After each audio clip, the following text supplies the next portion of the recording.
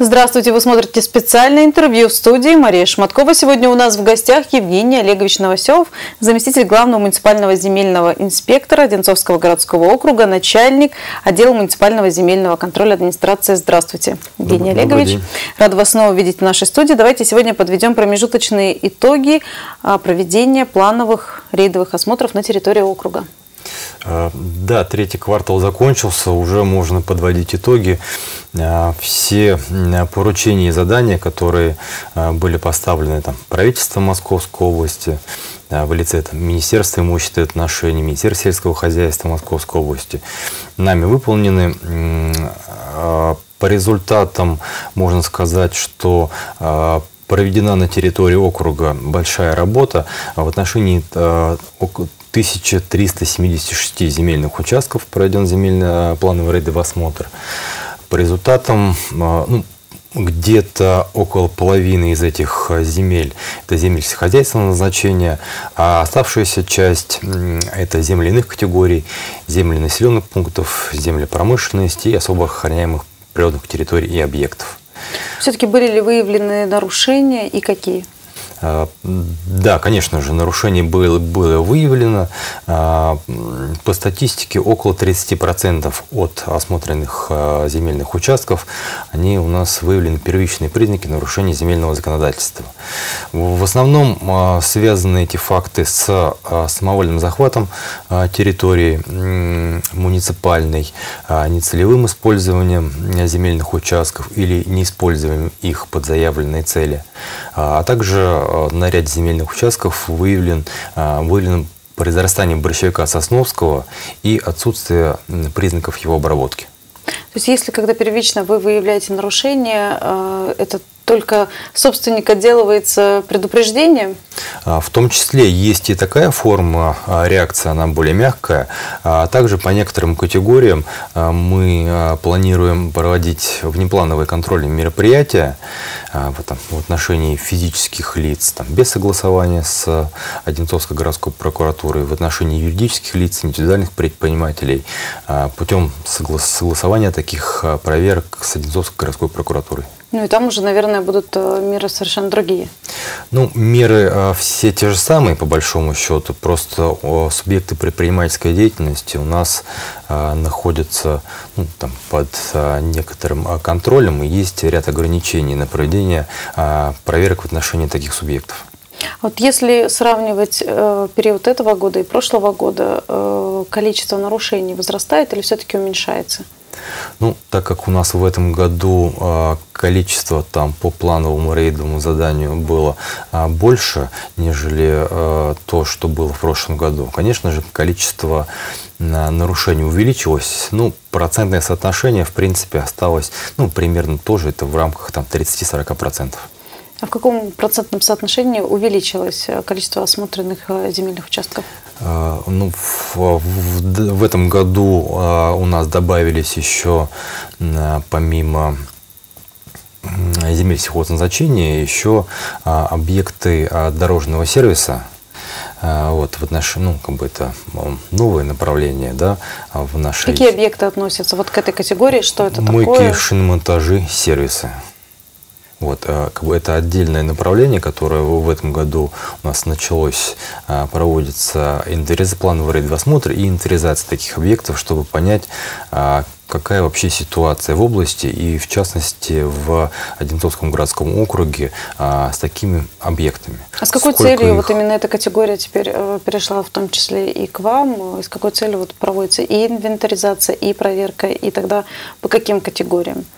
А, ну, такие мероприятия проводятся с целью а, понимания, в том числе там, и нами, и а, правительством Московской области, сколько таких объектов существует на территории Одинцовского городского округа, а также соответствует ли их фактическая деятельность виду разрешенного использования, который установлен в соответствии с реестром недвижимости. Эта работа уже началась? Да, началась. А если говорить об итогах, можем мы сегодня что-то подвести? Можете ли вы дать оценку существующей инфраструктурной, именно вот инфраструктуры э, дорожных объектов? Да, вот у нас на плановом осмотре еще было около 400 таких объектов. Вот. И где-то тоже около трети а, таких земельных участков а, используются а, не в соответствии с установленным видом разрешенного использования. По данным фактам мы в отношении правообладателей таких земельных участков направляются предостережения и предлагается самостоятельно, добровольно провести работу по внесению изменений в реестр недвижимости а, сведений о виде разрешенного использования в отношении таких земельных участков. А если этого не происходит, возможно ли изъятие земельных участков?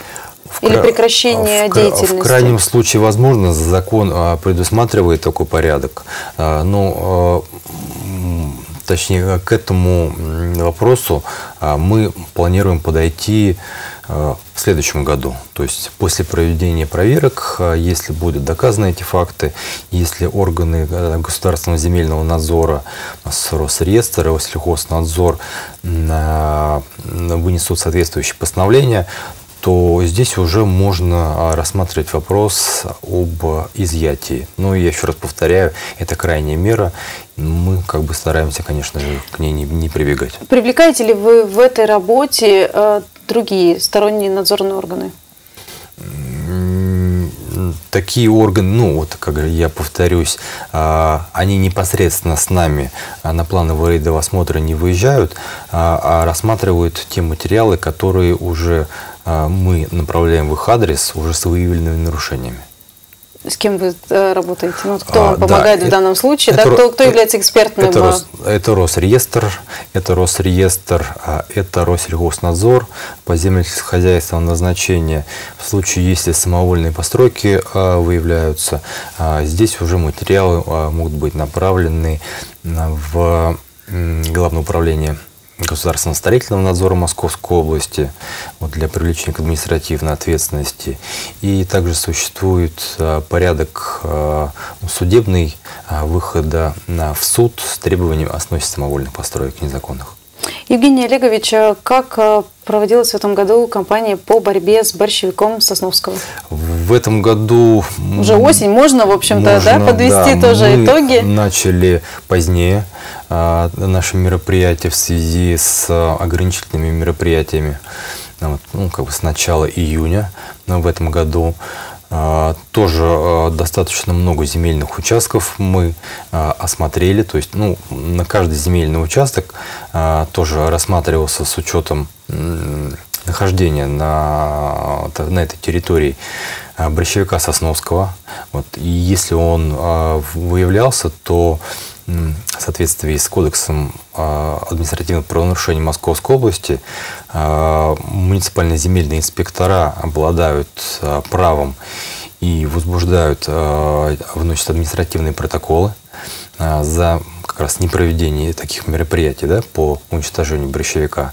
Вот, и направляется для привлечения к административной ответственности ну, в виде штрафа административную комиссию администрации Одинцовского городского округа. Вот по результатам таких работ у нас плановых рейдовых осмотров там, на 32 земельных участков а, и юридических, и физических лиц а, выявлены такие факты. А, составлены протоколы об административных правонарушениях, направлены в административную комиссию и вынесено штрафов на 760 тысяч рублей в этом году. Ну, сумма внушительная. Тем не менее, вот все эти годы борьбы с борщевиком, они дают э, свои результаты. Как вот в целом сегодня вы оцениваете территорию округа? Э, ну, в целом э, есть положительные сдвиги благодаря проведенной в том числе информационной кампании за прошлые периоды